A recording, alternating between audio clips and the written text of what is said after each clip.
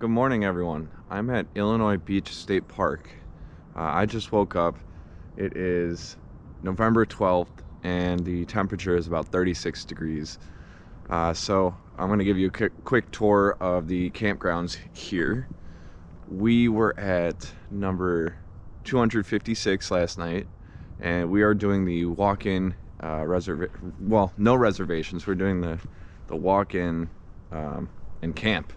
Uh, so at the ranger desk, uh, they've got envelopes to fill out uh, and and uh, envelopes to put your money in for the night.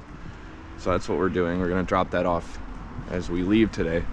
Uh, I want to point out that we have a electrical outlet as well as every other camp campsite here uh, and we used it to plug in electric blankets uh, so it's feeding right into the cord and into the tent and that's how uh, that's how we stayed warm last night. So uh, we had a group of deer hanging out pretty close to us at the campsite right over but um, definitely definitely some solid campsites here